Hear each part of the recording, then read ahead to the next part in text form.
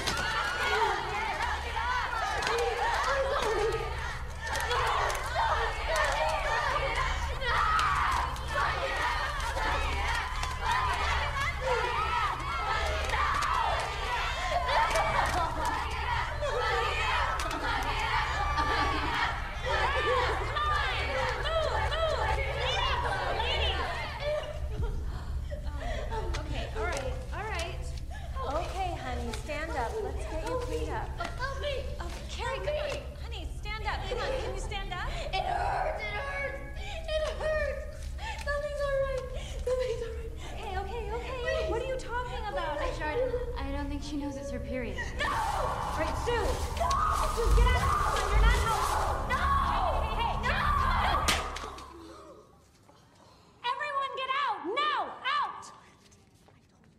Okay, okay, deep breath. Come here. Come on, it's okay. You're okay, sweetie. It's totally normal. Do you know what it means?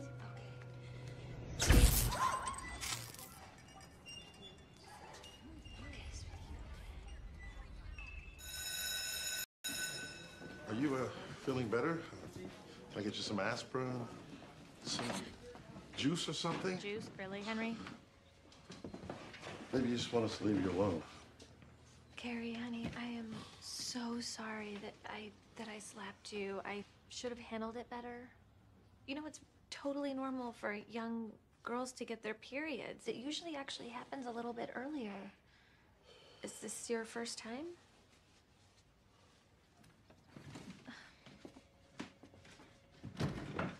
Honey, do you understand what's happening to your body? Do you know what it means? What? I don't know. I felt something moving down there. Oh, honey, Well, maybe you could uh, talk to a counselor about that or, or, or a nurse. Um, what I need to know is who started throwing things. Um, it was Chris Hargensen and all of her friends. Casey, Carrie, Carrie, did Chris Hargensen start this? Honey, you don't have to protect them. What they did was unforgivable.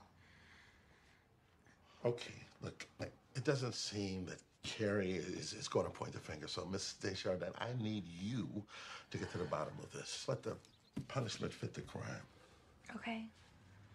Now, Carrie, you're excused from PE class for the rest of the week. Just take study hall, okay? At the library. Yeah, we're gonna have to call your mom. What?